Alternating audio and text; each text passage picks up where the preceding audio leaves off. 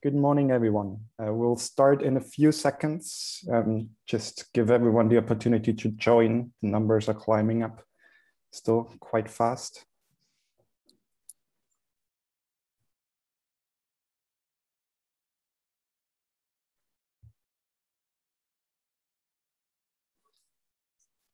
All right, I would say I'll give it a start. Good morning, everyone, and a very warm welcome uh, to today's EPC election monitor, where we'll discuss um, the German elections, the results of the German federal elections, the next steps, and the possible implications. Um, thank you very much for joining us today. Um, my name is Johannes Greubel. I'm a policy analyst at the European Policy Center, and I'll have the pleasure of moderating today's discussion. And um, we have a lot to discuss. I mean, uh, Germany has elected its first post-Merkel Bundestag last Sunday um, with a turnout of, of uh, nearly 77%. And after a very successful past few uh, campaign weeks, the SPD under Olaf Scholz won the biggest vote share with 25.7%, uh, gaining about 5% compared to uh, the federal elections in 2017.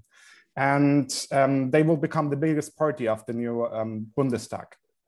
The SPD came in 1.6%, uh, about 10 seats ahead of the CDU-CSU, uh, which lost um, nearly 9 percent points compared to 2017 and had to face the worst election result in its history with around 24%. The Greens came in third with about 15%, um, considerably increasing its vote share, but um, ranking lower than uh, polled previously. And the Greens are followed by the Liberal FDP with 11.5%, and the AFD with about 10%. Um, and finally, the Left Party dropped below the 5% and only uh, will be represented in the Bundestag because they won three municipality mandates. Thus, um, things are complicated at the moment, um, as it will most likely take three parties to form a coalition. But um, we want to discuss now what are the implications of this result, um, what are the next steps, um, were the polls right? Um, are there any surprises? Um, what do the results tell us about the public and the political mood in the country? And what are the implications for the EU and also for other member states? Um, but of course, we don't want to discuss just among ourselves. Um, you can come in at any point. Um, so if any questions arise during the event, please feel free to ask your question throughout the whole discussion and I will try to weave them um, into the debate. So if you would like to come in, you can do so in two ways, um, either by sending a question via the Q&A box in the bottom of your screen. If you do so, I would just like to ask you uh, to uh, keep your question short. Uh, please no essays, um, about tweet length would be great.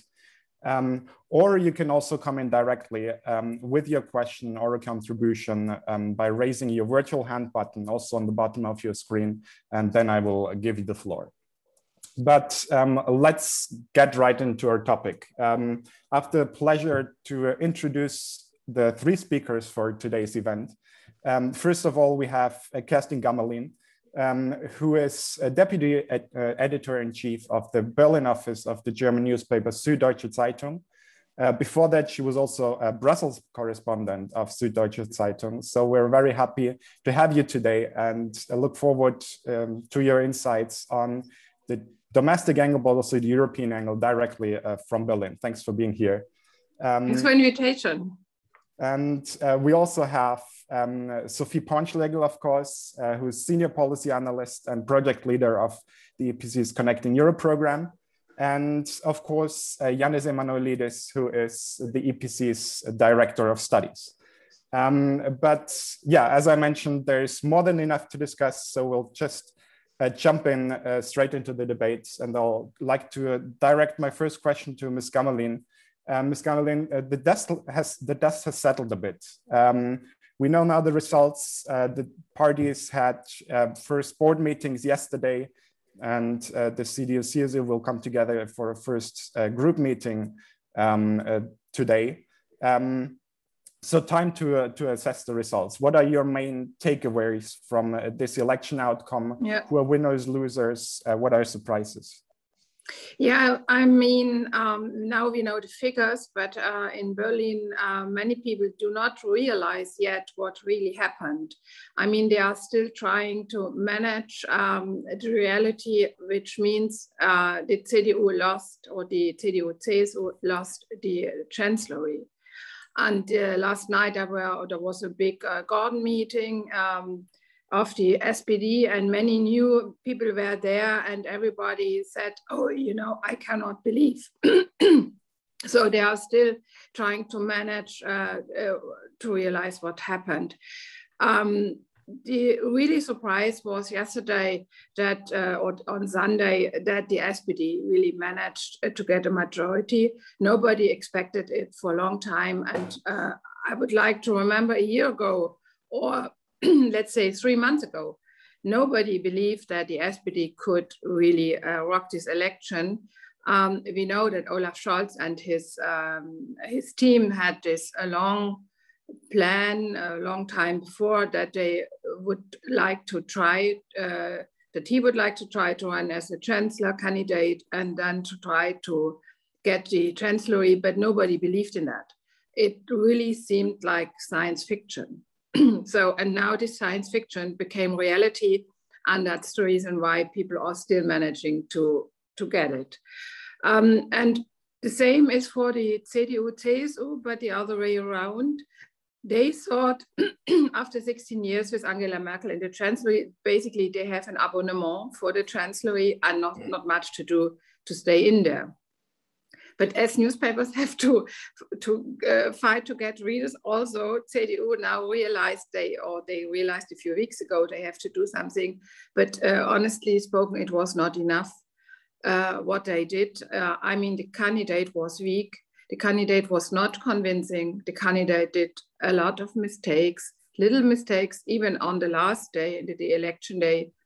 Uh, I'm, I'm sure you know this uh, picture which went viral uh, that he, uh, being in this uh, at the place where he did the election, uh, he the piece of paper he put into the box was uh, on the wrong side, so you could see uh, which party he had elected. I mean, was not surprised with the party he had elected, but it is against the rules. Um, so, and then the Green, let's come short to the Green Party. I mean, they were very ambitious they thought they can uh, uh, also run for chancellery the first time in history. They had a chancellor candidate, Annalena Baerbock, um, and when she was uh, uh announced, there was a huge hype uh, that uh, many people thought now it's the right person for the chancellery, but also very yeah, very soon they realized um, all these things they thought she could do she is obviously not able to do so. She lost. And if you compare the result of 15% with the ambitious goal they had uh, to, uh, to win the chancellery, it is also, the Green Party is not really a winner. Uh, the Liberal uh, FDP managed to stay stable. Uh, it's a good result for Christian Lindner. He managed, uh, he managed to, I mean, to benefit from the pandemic in a way that we had a lot of restrictions and many people were really tired of these restrictions and he promised freedom and liberty and, and liberal uh, values. Um, and then we have the AFD, which lost uh, in general. Um, uh, so they are they managed to stay with 10%, but it's less than they had. And Linkspartei, uh, actually, we thought it is a party that is in the German system it is established, but as we can see, it is not really established. So that's in a, I will stop here now, and uh, but that's in a few words the situation. Thanks for your first assessment. And I think we'll come back to a lot of these points uh, that you already touched upon, including um, how, could, how did we get there? How did we get to this yeah. science fiction result um, for the SPD? Um, Sophia, um, if you would like to react, um, and maybe I can also add another question um, or more forward-looking question. What are the next steps now? What mm. is going to happen in the in the days and weeks to come? Yeah. So um, I mean, uh, Cerstin Gammelin already showed like the the kind of uh, landscape we face at the moment, and I think maybe it's a science fiction result, but I wouldn't say that it's a bad one. Also, looking at the European Union. Um, I think generally we had um, not the best campaign. We had a very contentless campaign, which was focusing a lot on the on the figures uh, of the candidates for the chancellery. But I think in general, I would say it's it's we knew it was going to be an uncertain result with three parties probably. But generally, I would say that all of them are relatively pro-European. So I would expect them hopefully to be um, reasonable enough to to find a coalition in the in the coming months. When it comes to the next steps, um, what has been interesting is that the Greens and the Liberals will probably talk first. So it's the smaller parties that are the kingmakers, uh, and then they will choose the bigger um, partners. So it's the junior partners that are really having a huge power and lots of leeway to decide about, about the next coalition. I think it will also depend on how the, the CDU, so the conservatives, will position themselves um, they have a big party meeting today, um, and we'll see. I think they really struggle uh, with the, the results they got because they lost out. And maybe to one point, I think it's also interesting because you can, of course, compare um, the success or the failure of a party compared to the election result of 2017, so the last election, or you can compare it to uh, the polls that they were expecting. And I think there for the Greens, it's quite difficult because compared to 2017, they did really well. Uh, they were at seven, eight percent, I think, and now they're at almost fifteen percent. So it's it's a pretty you know important uh, success compared to the last election, but compared to the polls that they were expecting, um, which I remember, I think it was last year or the year, year before, they were even at twenty seven percent at some point, which was like extremely high. So they were kind of seeing themselves already as almost like a, as a real contender to the conservatives and the social democrats and in the end, they ended up being uh, not too far from the liberals. So um, I think there it depends really on the kind of interpretation you, you have. And one point also on the Social Democrats, I think it was fascinating to see um, how it worked with Olaf Scholz. Um, maybe it says something about the Germans and that they like stability and someone who uh, seems to be more of an accountant than a politician. He wasn't very charismatic, but he really was in the way of Merkel um, you know, playing on the fact that he was already the finance minister, minister that he had the experience, um, and that he seemed to be a reasonable candidate um, that that will have the kind of stability that we're used to with Merkel. Um, and what I think will be interesting to see is how they will, um, what kind of coalition agreement we will see in the coming months. So all of them, all of the parties, right after the um, the talk show right after the election results on Sunday night, they all said that they wanted really quick results. I mean, to have coalition negotiations that won't be as long as 2017, where we only had a government in place uh, in March 2018, so almost six months later. I hope that this time they all said before Christmas, we want to have um, a coalition agreement in place and therefore a new German government. Um, I think it will very much depend on whether the parties, so the Liberals, the Greens, and the Social Democrats, because I think that's the most um, obvious um, coalition that we will get. Um, it will depend really on the parties whether they can trust themselves. And I think there are some um, policy files where they really will will find some consensus, but I think there will also be very difficult negotiations um, when it comes to climate change, to taxation, um, to economic and fiscal policy, especially between the liberals and the Greens, for instance. I think there's more of a policy overlap with the Social Democrats and the Greens if you look at the programs. So we'll see. And I'll already talked too much because there's a lot to say, as you see. Um, thank you, Sophie. Janis, uh, what is your take, um, especially on the new government? Um, uh, Sophie already hinted the central role of the FDP and the Greens um, and hinted that she believes that a traffic light coalition uh, with the SPD is, is most likely. Um, in her view, uh, do you agree with her? What are the chances for, for Jamaica um, with the CDU, CSU? Uh, is a grand coalition, can, can a grand coalition be ruled out uh, completely?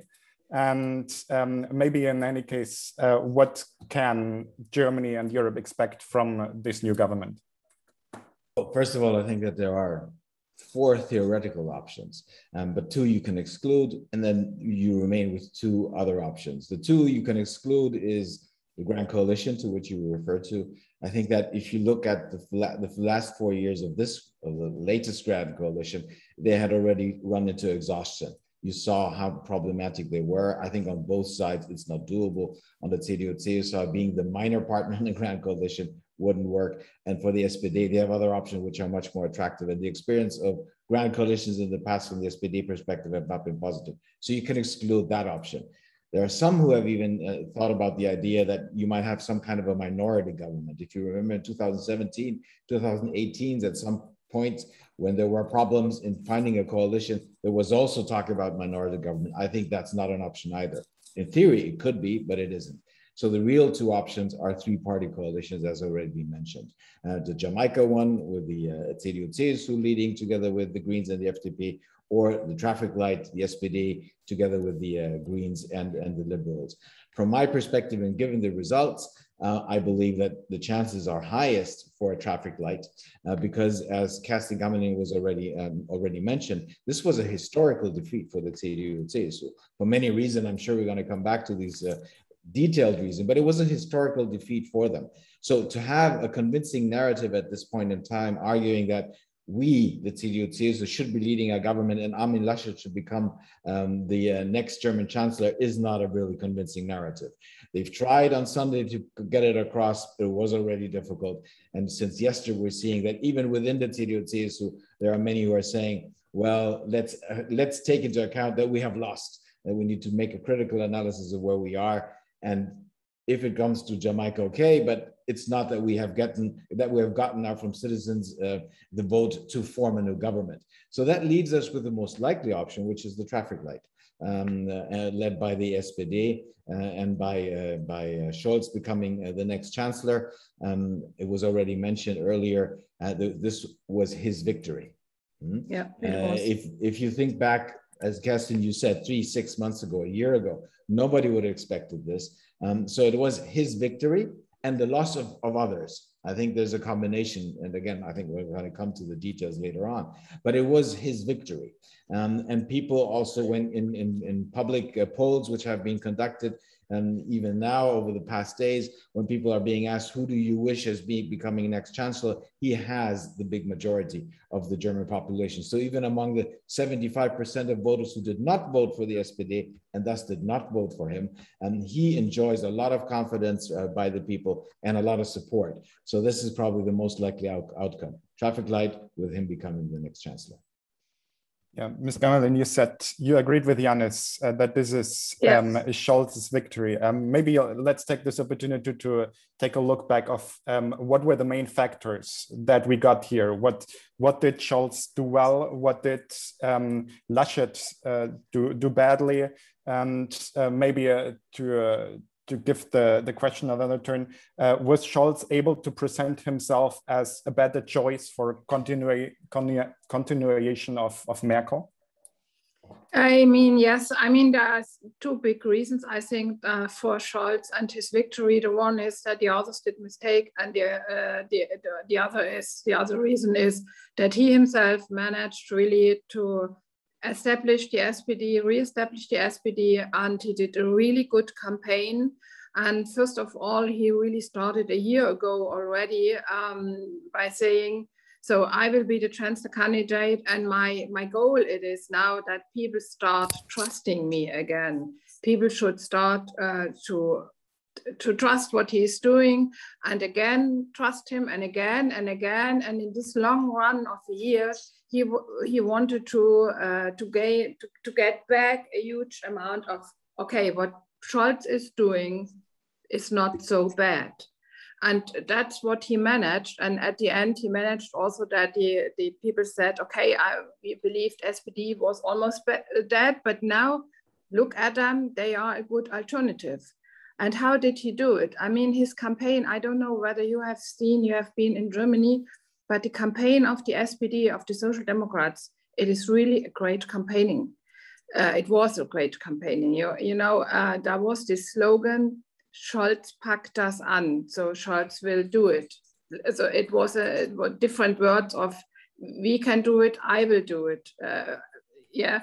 And um, and many people said okay you know we are in an environment of uh, multiple crises. We have this climate crisis. We had have uh, we have had this um, flood in, in the western part of germany which was really horrible.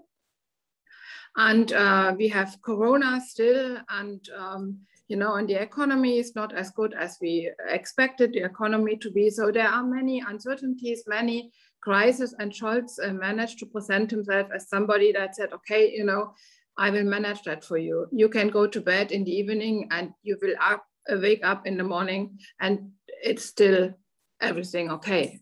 Um, and so, and he managed that people trust trusted him in this in this uh, in this way.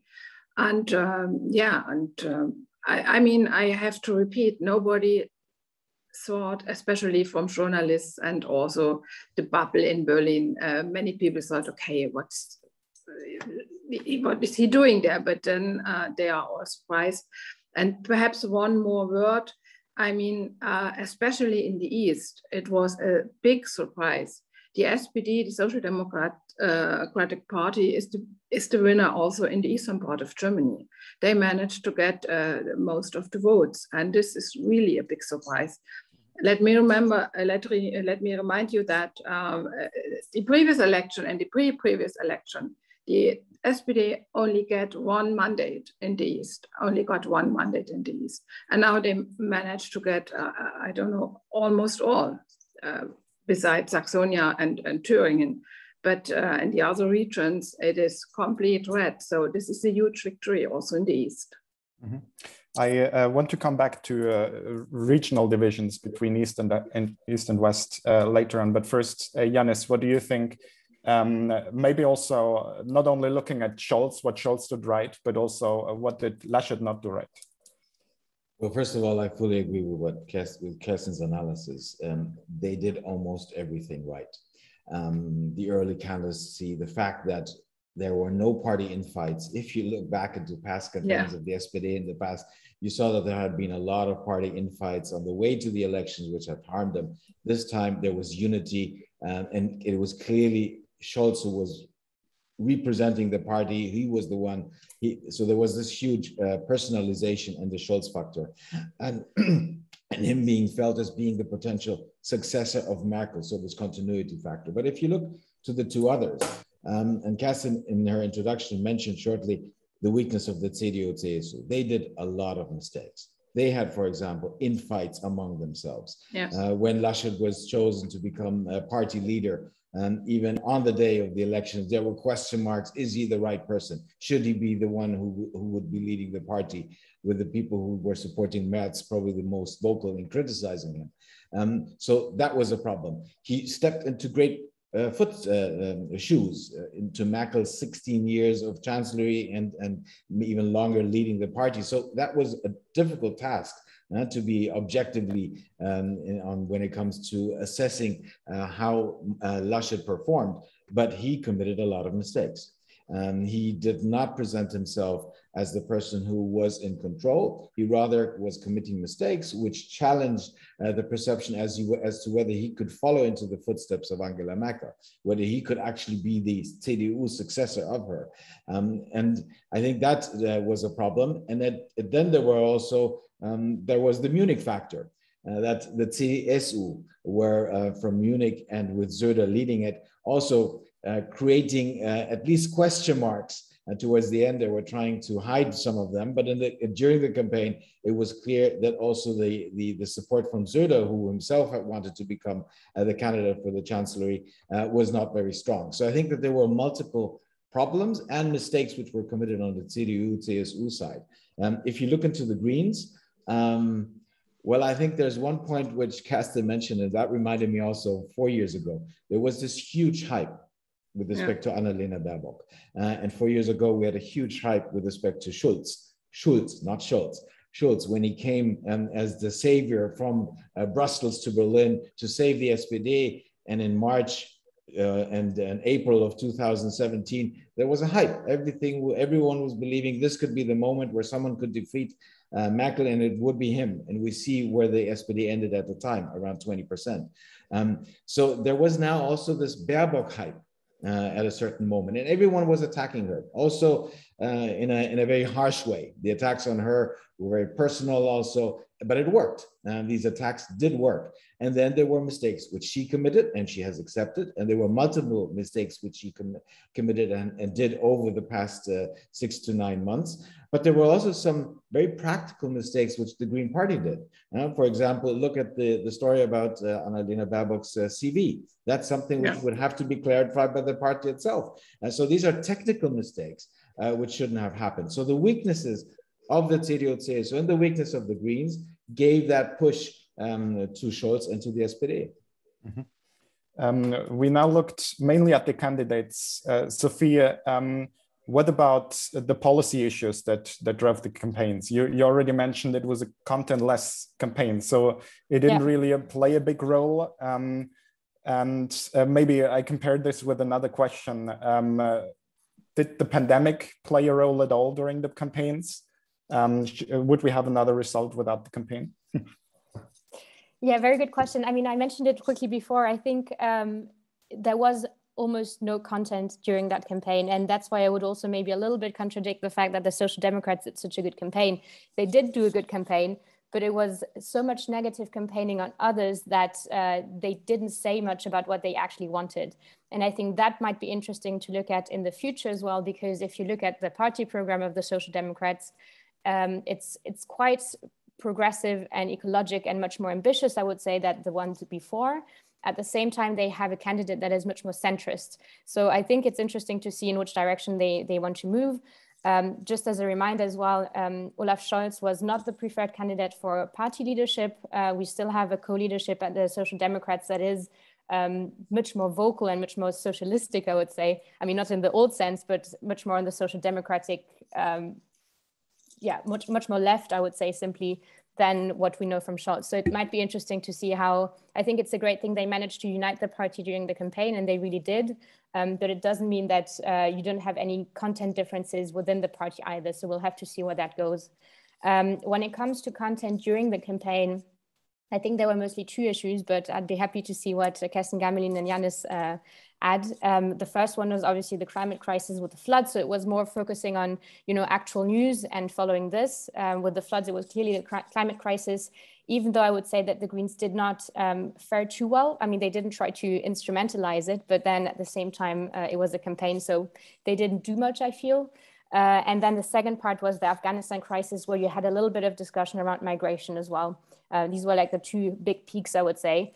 Um, otherwise, there was very, very little content discussion. And um, that's why it's also hard, difficult to say at this point in time uh, what the parties really want, especially also looking at EU policy. All you can do is look at the party program, see what's written in there, but it's very hard to see where they will be. I mean, you can imagine where the conflict lines will be. And I think economic and fiscal policy is definitely one.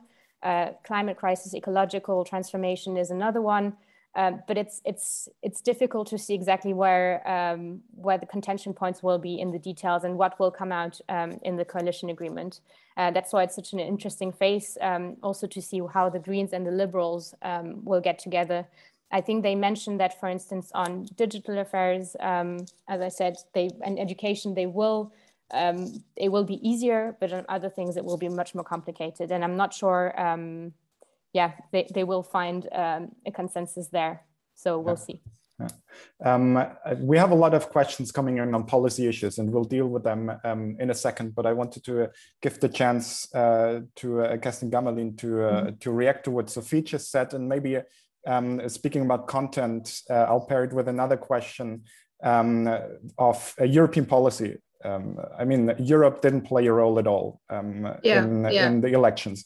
Uh, why was this the case? Why was the EU not a topic this time?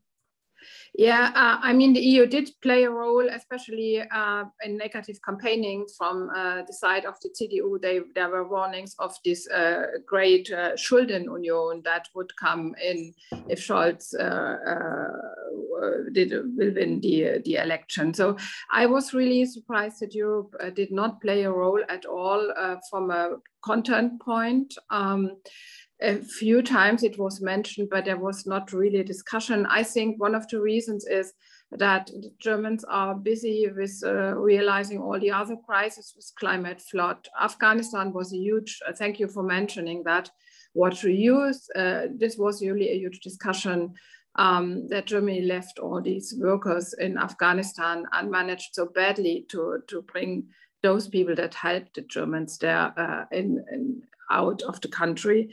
Um, so, and um, there were not really problems towards Europe, but there was not really an interest towards Europe.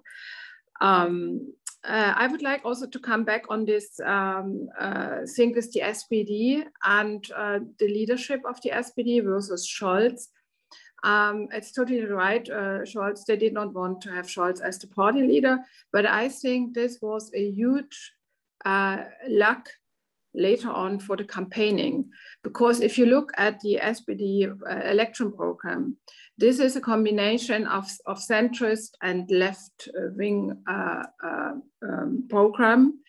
Um, and uh, Scholz, as a centrist, managed to get uh, connected with this party, uh, with the left wing wishes. And I would say if Scholz had win the uh, would have been the party leader, I think it would have been much more complicated for the SPD party members to stay calm and to support that program. But now we had a program which was written by the left wing of the party and the centrists of Scholz, and that together, I think uh, that together uh, was the reason that the party at the end was really calm and supporting uh, the program. And one word to FDP and Greens. I think yes, in digitalization and other subjects uh, regarding liberal values, that, that, will not be difficult to bring the both uh, together, but it will be difficult uh, when it it's coming to the balance of markets and uh, state. So how much has the state to do and what should markets do? And also about financing. So the Green Party wants to have um, a huge investment program, I think 500 billion euros for an additional investments in the next 10 years uh, to tackle the climate crisis and the, uh, the uh, FDP uh, is, uh, doesn't want to do that. They, they are believing in the debt brake and they want to stay with the debt brake. So I think this is a huge issue to tackle. Janis, um, your thoughts, and maybe also um, on the on the European dimension. What can we expect um, from the the new government, uh, which uh, will be in place, um, in terms of European policy? But also, there's a few um, questions on the foreign policy dimension. Um, we have a question whether the traffic light coalition would continue the grand coalition's foreign policy or are there any changes um, expected? Um, and yeah, how, how would how would a three-party coalition in general um, affect Germany's foreign policy? Yeah, thank you. Um, let me mention a couple of points referring also to what uh, Sophie and Cerstin were saying. I fully agree with uh, Sophie's analysis in terms of what the policy issues were or were not.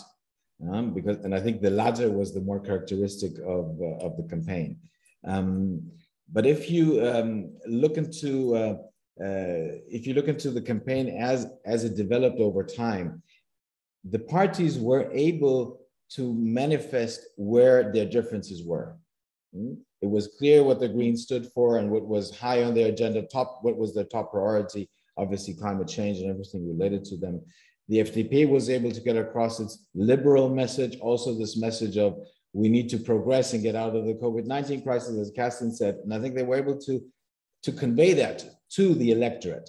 Um, and the SPD, and let's not forget, for a lot of people, if you ask them about what are their main matters of concern, they will tell you social justice, the future of pensions. Um, and that was something where the SPD obviously traditionally is strong, and they're also they were also strong this time around. So yes, there were not a lot of policy issues or policy debate in depth, but at the same time, the parties were able to identify themselves with the key policy issues and concerns which people or the electorate had. Uh, with respect to um, uh, to the SPD, the internal dis uh, discussion and debate, I think Cerstin is perfectly right uh, when she says that you, that it might have or probably was uh, an added value for him for Scholz not being the party leader. The question is now what happens once he gets into the chancellery? Yeah. How will that develop? If you look back, um, that goes way back for those who remember, when Schröder came to power, he was the candidate, he became chancellor, and Lafontaine was the party leader. And they had a, a very difficult time in the beginning of the coalition government. And at the end, the one who prevailed was Schröder, because he was the one who actually won the elections for them to a large extent at the time. This time again, you have you will if you have a Scholz as, as chancellor, which seems to be our working assumption here. Um, he, he the fact that they won and that they were able to move into the chancellor has a lot to do with him personally. I think that will make him have a very strong position um, also within the party. But there it will become more difficult as time progresses. So we'll see how things will develop over the upcoming years. Uh, but now I think he has the strong advantage also within the party. Um, with respect to Europe, uh, yes, it was not a major concern uh, at least not in positive, constructive ways, uh, but rather uh, along the lines of what Cerstin was saying of negative campaigning. If you vote the SPD, you will move into a debt union, a Schuldenunion. Um, but here, I think the fact that um, Scholz is a centrist uh, mm-hmm. and that people do not believe that he is someone, and he was finance minister, and up to a long time uh, and for a long time when being financed, but he was defending also the black zero. And he was not someone who was saying we can do, do, do debt spending. When COVID-19 came, the story changed, but there was a strong logic to, um, uh, to, to do what was done in terms of increasing the, the, the debt levels in Germany. Uh, so nobody uh, was arguing, well, with Scholz, you will probably actually move into the direction of, of, of a debt union. He is a centrist. Um, and I think again, if you compare it to uh, when uh, the when Schröder came to power, that seems to be uh, the magic of success for the SPD. If you have a candidate who is more of a centrist, more towards the center, while still being able to convey the message that he's a social democrat, which Scholz was able to do, that seems to be the uh, the success formula for the SPD. And so they probably should remember that also with respect to the future. But with respect to the European dimension, I think the bigger picture is that. Um, we can expect that there will be more continued continuity than disruption. Uh, if you look ahead into the French elections next year, and there are some who fear that potentially Le Pen might become president, that would be a major disruption. Now, the outcome of this election, and we knew that already before Sunday, would not lead to a major disruption. So, so there's more continuity. However, having said that, with respect to certain aspects, there will be also marked differences with this new uh, coalition government if it is the traffic light. When it comes to uh, green policies, when it comes to the Green Deal, when it comes to climate change, you will still uh, see a strong mark from the Greens, but also the fact that this was a strong issue in the campaigns of also other parties who were part of that coalition. The green issue will be high on the agenda. Uh, when it comes to um, foreign policy, I think what is interesting, and if you um, uh, watch some of the campaigns and discussions, here, the FDP and the Greens um, have a stronger position when it comes uh, to, to policy vis-a-vis China, which will be very interesting to see how that will develop in this new coalition. Um, and another issue is uh, questions related to Eurozone reform. Here, the liberals will probably stop ambitious reforms when it comes to Eurozone um, reforms, and that they will also claim this for themselves um, including the finance ministry. So you have some issues where there are, will be marked differences to previous governments, but there will also be a lot of continuity. I'll, I'll come back to the policy issue in a, in a second. Um, on more general terms, um, maybe uh, to Sophia and then also uh, Cerstin, as you already have um, Paris in your background. Um, what does the results mean uh, for the relations with other member states and and Paris, and how could um, I, I, have a question here from uh, Christophe Leclerc, who uh, um, asks about impact of other member states, maybe even in the coalition talks. Um, for example, he mentioned um, the role of, of France um, in, in uh, the coalition talks with, with FDP. Um, could, could France help to dilute the FDP's views on tight budget, for example, or could it even be counterproductive? Sophie, maybe first. Yeah, that's a good question. I mean, uh, I don't think there is much interference of other countries within uh, coalition negotiations. Um, I think at this point in time, Germany is very focused on itself, inward looking. Maybe some could say navel gazing, but I think it's a normal period also after the election to first, uh, you know, try to sort out your own cards and make sure that you have a working government at the end. So it's about building trust between the parties that will uh, lead the coalition negotiations together. Um, when it comes to the to the Franco-German relationship, I think, um, and I think Macron has made it very clear that they hope to have a German government pretty quickly. So it's more about the timeline than the content. Um, I mean, it's interesting to know that Macron's party and the Liberals are both within U Renew Europe, but they have a very different opinion when it comes to economic and fiscal policies, and I don't see that changing uh, anytime soon. I think there is a bigger chance of um, FDP having to water down a little bit their positionings um, because of the Greens and the Social Democrats. Um, but as it is really one of their key messages, as Janis mentioned before, they were very strong at giving the messages out. Um, as this is one of the key positions of the of the liberals, I wouldn't even be too optimistic that they will really water down some of these propositions. Um, because really the thing with the market in the States, uh, the liberals are liberals and they do not want to get into a debt union um, at any cost in the European Union. So I think that's really going to be one of the contentious points, I would say. Um, maybe to come back to the EU policy, um, just to mention pretty quickly, I think there were really three policy areas that I could see in Germany being um, more important when it comes to the EU. That was migration, that was mentioned with the Afghanistan crisis, but it's really a big topic in Germany. The other one is economic and fiscal policy with the Eurozone reform, and the third one is foreign policy. Um, when it comes to foreign policy, maybe just to add to what Janis said about China, um, also I think it's really interesting if you look at the party programs that a lot of the parties mention the EU army. And I think that really shows that within Germany, you have a very vague discussion about some EU policy issues that do not reflect the reality in Brussels. So it's it's more about a feeling that you know nationalism is bad and we are really, really pro-European.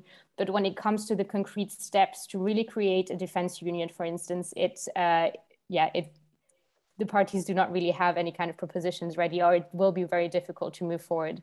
So I think um, that's why I'm so um, curious to see what will be written on EU policy in the coalition agreement. And maybe one last point there, I really hope that it will be more than the four pages that we saw in 2017 uh, with the Grand Coalition. I mean, it was a very, you know, complex uh, coalition negotiations four years ago uh, with the FDP that got out and then uh, the Grand Coalition had to happen. Um, so they didn't have much time, but I hope that this time, maybe if they are a bit more organized, let's say, that they will have a bit more time to discuss EU policy as well and um, have something more than four pages. Uh, if I may add, I mean, the, the previous coalition treaty had uh, Europe at the first chapter. I mean, yes. that, that, I mean, that was a big yes. uh, point. But the question is what uh, happened afterwards. Uh, so that uh, that's mm. more or less the point. Um, yeah, I think there's no doubt that the next uh, government, whatever it will be, is a pro, also a pro-European government. Um, no doubt about that. Also, Laschet, I don't expect him to become chancellor, but also Laschet, I think, would stand for that. I mean, uh, regarding the Franco-German relationship, I was uh, happy uh, enough to um, fly with Scholz, I think, four weeks ago to visit Macron. And uh, I had the also my what I from what I saw, uh, I think it was a very, a very good uh, talk there. And um, Scholz and Macron, they know each other from previous times uh, in Hamburg when Scholz was mayor in Hamburg. Uh, Macron was there to visit him and his staff as, as a minister for economy, as a French minister for economy. And they, so they know each other. They have uh, good relationships. And I think they improved the relationship, um, especially Scholz and Macron, uh, last year when they came out with the recovery fund, with the EU uh, recovery fund. And this was a huge uh, change in paradigm in uh, German politics also that they agreed to have this fund, uh, to have a debt for the, for the European Union and um, to transfer all that money in the member states. So I think this was the proof that they can work together also in a very pro-European uh, manner. Um, I would say um, if there were only the Greens and the SPD, it would be a really uh, pro-European uh, government, but the, the FDP, the Liberal Party, will have a role as a yeah, kind of a soldier that is uh, defending stability uh, in, and so in the, in the German way, I would say.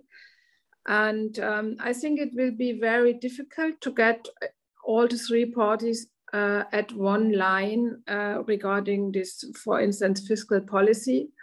Because uh, as you remember already during the Greek crisis, there were a few members of the FDP voting against uh, this credit program for Greece, and they were warning um, uh, against the debt union and um, and the and another big issue we did not mention so far is the policy of the European Central Bank.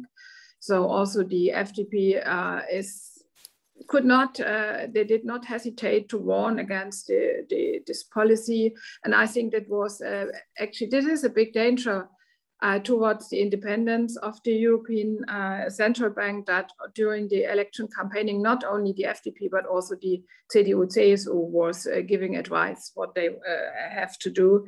I think th that is where we have to have an eye on it, um, the, the, European Central Bank.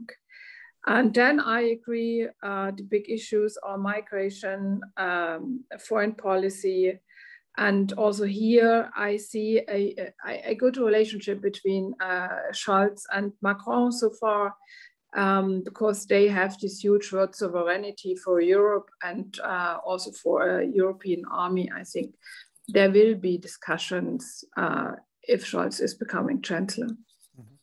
Um, thank you, Janis. Uh, your reaction, and um, I, I, can see that there is um, apparently the consensus that there will be a pro-European uh, government no matter what. And also uh, Christophe Leclerc said that in the comments uh, that also in the final round, in the final debate round, he heard an amazing consensus of mainstream parties on EU sovereignty and strategic autonomy and uh, pro-European topics. Um, Janis, uh, your, your thought on that, and maybe I can uh, pair that because that there are a few questions especially from uh, Olaf Överbø, um, on uh, the Green Deal and how will climate policy affect the chances of forming a traffic light coalition and um, will this traffic light coalition give um, what what priority will that government give to the Green Deal? Um, will Germany take a leading role there?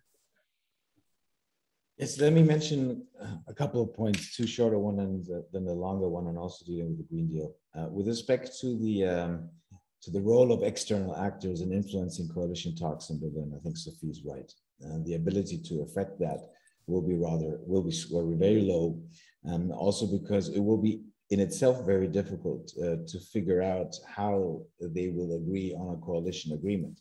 This will be a very complex exercise.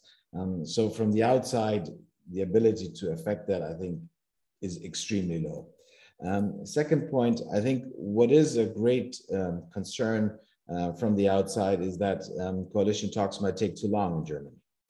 Um, I'm not sure how long they actually will be, uh, will take. Uh, I would not be surprised if you would have a coalition in place already before Christmas, but there is a strong concern that potentially might take too long. So all those who have been arguing um, who can fill in a potential vacuum now after Merkel and with Germany being uh, dealing with its internal affairs. This was the wrong logic. It's not that uh, external actors, other member states, other heads of state and government in the European Council want to fill uh, any kind of vacuum. They need Berlin to be able to define policy um, uh, decisions, um, and that's what is strongly in their interest. Um, and also from a French perspective, given that they're having the council presidency in the first half of next year, but also the presidential election, they quickly need to have a partner on, on the other side of the Rhine in place for them to also be able to deliver when it comes to their concerns and priorities uh, during the French uh, presidential um, pre council presidency. Um, the, second point, um, or the third point, relates to um, to Europe and the coalition. I think that um, as we said earlier, I think the big lines will be clear. You will have a very pro European government. However, having said that, the devil lies in the detail. And when you look into different areas, and they were mentioned, whether it has to do with, economic governance reform, foreign policy, ECB, um, these are all issues where there are strong differences, especially with the FDP, as Cerstin has mentioned. They will try to be the gatekeeper gatekeeper trying to prevent certain reforms or, or developments going in the wrong direction. And I think that's also what a good part of their electorate um, assumes that they would do. Um, so it will be extremely difficult for them to agree uh, on issues related to European affairs. But Europe in itself, I don't think will be a top priority. But there are a lot of concerns which relate to European affairs, which are also of a national concern. And there it will be difficult to find agreements, uh, which also leads me to the Green Deal. Uh, yes, you will have the Greens pushing for that. Um, you will also have, you know, parts of the SPD pushing for it, um, but you will have the FDP arguing uh, well, we first of all have to have in mind what that means for business interests, what that means in terms of the economy, um, how we will actually be able to deliver uh, and, and, and combine what, uh, what was already said, you know, the role of the state and, and, and, and liberalism. Um, so on these kind of issues, I think it will be very difficult to form a, a, a joint position and then hold it through over the upcoming years. And I think as time progresses, but that goes for the Green Deal in general, we will see how difficult it is to implement things in practice. And I think you will also see that in Berlin and in the future government, which leads me to my final point, which is who will be running the show in Berlin when it comes to EU affairs in future?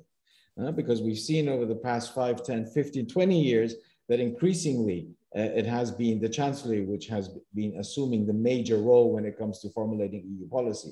How will that be in future?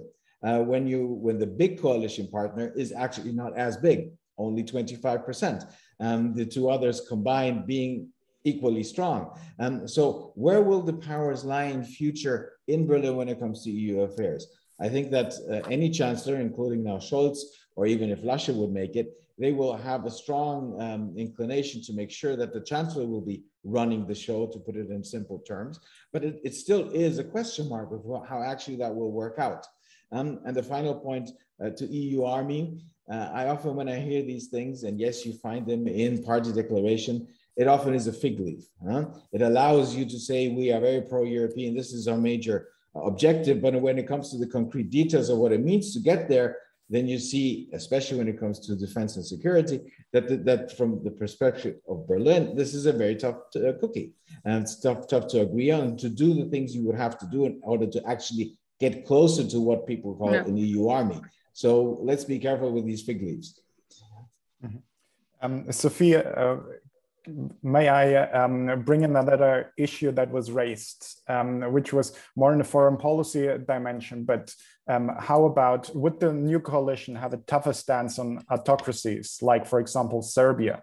Um, and maybe I can pair that with the rule of law question also within the EU. What do we expect? Uh, should we expect uh, with uh, relations to uh, Hungary, Poland, etc.? That's an interesting question. I think um, it, actually it's a difficult one to answer, and I, would be interested to see what Janis and, and Cerstin are saying on that one. Um, I think it was especially the, the CDU that was focusing on dialogue. If you look at the party program, I think none of them had some, you know, new and innovative mechanisms where you for EU rule of law. Um, so safeguarding values, I think they still they all agree that it's important to do so. Uh, but when it comes to the implementation, I think there is little ideas. Um, I think especially the CDU and the CSU, because they were in the EPP um, and because Fidesz was part of it, um, it took quite a while. So I think it was a bit more difficult there. But then I, am not sure that the Social Democrats will have a much more ambitious stance. I think it really depends. The big issue with rule of law is that, um, as it is with EU policy, it doesn't tend to be one of the most, you know, prioritized issues um, in in domestic policy. So I think it will you will have to see over the years how it develops. Um, I think one of the big issues is, of course, that we do not have a great answer at EU level anyway, so it will be difficult. I think that it would be good um, to have a, a, more strategic discussion about it with France to see how they could position themselves and how the two bigger countries in the EU could actually have an impact uh, to make sure to safeguard EU values. Um, but I'm not sure that's a priority as such. And I think that's been a big issue with rule of law that it hasn't been on the top of the priority. And therefore, you know, it hasn't been seen as something where you really need to have some kind of strategic discussions about it, but rather continue the stance of saying, yes, we need to have dialogue. And yes, we will do a few more infringement procedures. Then I think it also depends on the current news to see whether you will have some uh, new anti-LGBTQI law where you will have a more public pressure on it. When it comes to the Greens, for instance, they had a rather strict line. So I think it will also depend on whether the Greens see this as a priority within the coalition negotiations um, to push through a much more um, ambitious line and say, we're not accepting this. Um, but generally speaking, I think it depends on the coalition negotiations. It's hard to say. I hope to see something a little bit more ambitious, but we'll have to see.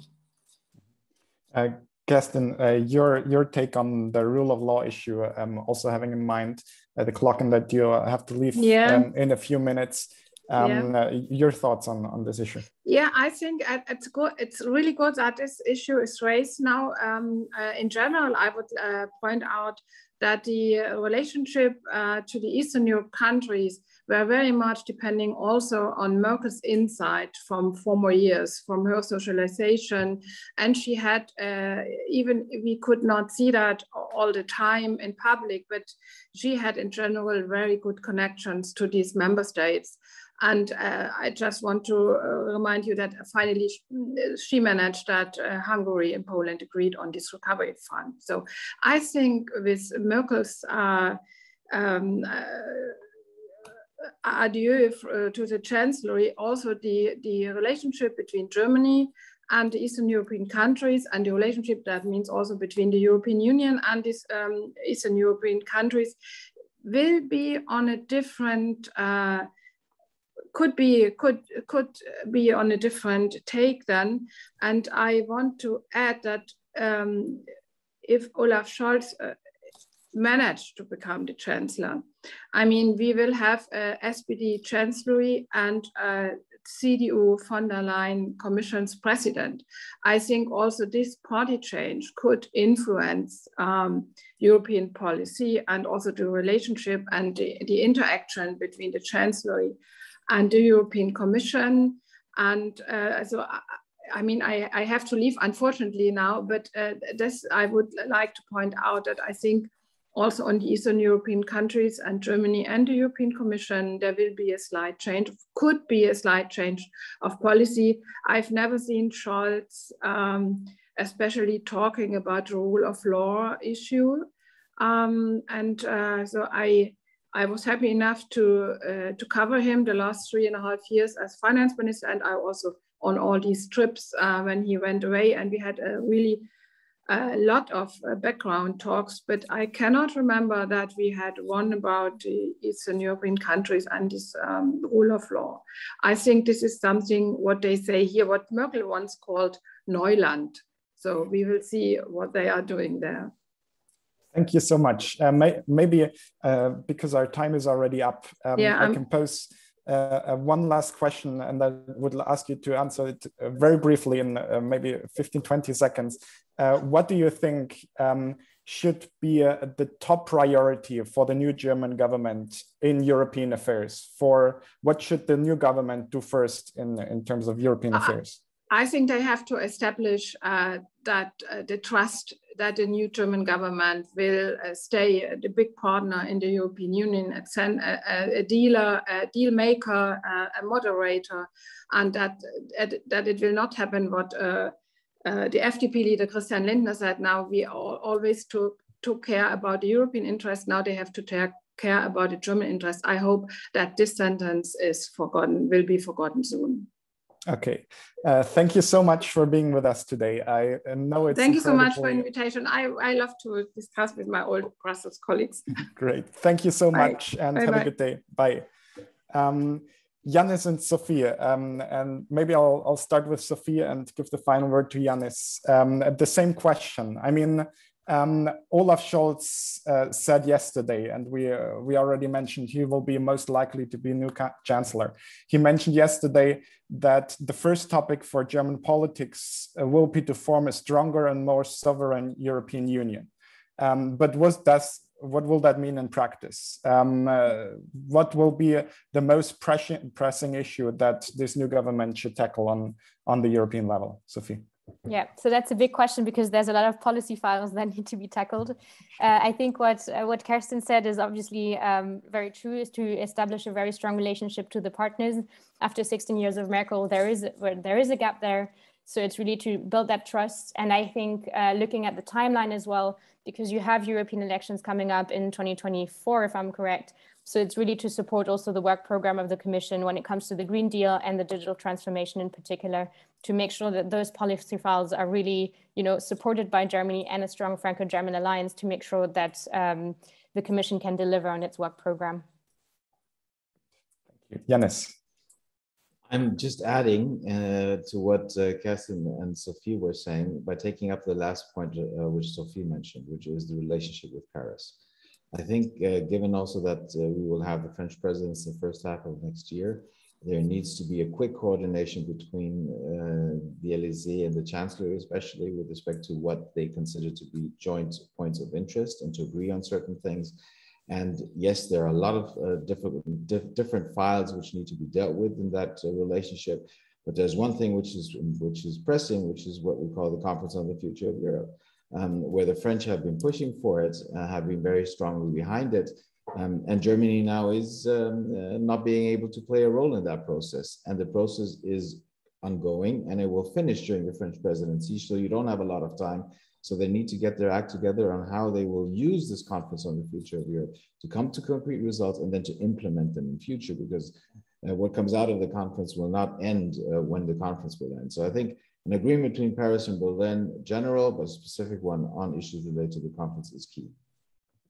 Thank you, Janis. And uh, thanks both of you for, for your insights uh, to the debate. Unfortunately, our time is already up. Um, there were a lot of questions that we could not answer, unfortunately. Um, a lot of questions about Russia, about uh, the transatlantic relations, um, and G7 um, uh, foreign uh, trade policy. Um, but uh, this won't be our last occasion. Um, we'll uh, to discuss the, the German elections. Uh, on Friday, we'll have an EPC update. Um, we're also, uh, Janis and Sophie will be there and we'll partly also cover um, the German elections in, in uh, one half of this meeting. So um, we will make sure to convey all your questions to Jackie, who will moderate a discussion and then pick up hopefully on, on some of them. Um, yeah, let me thank again um, both of our speakers, um, of course also Cerstin who already left us, and also uh, to everyone um, who uh, yeah, participated today with all your uh, questions. Um, we will return to this topic, and but for now, I'll wish you a very good day and hope to see you um, very soon in the future at other EPC events. Um, have a good day and goodbye. Bye. Thank you.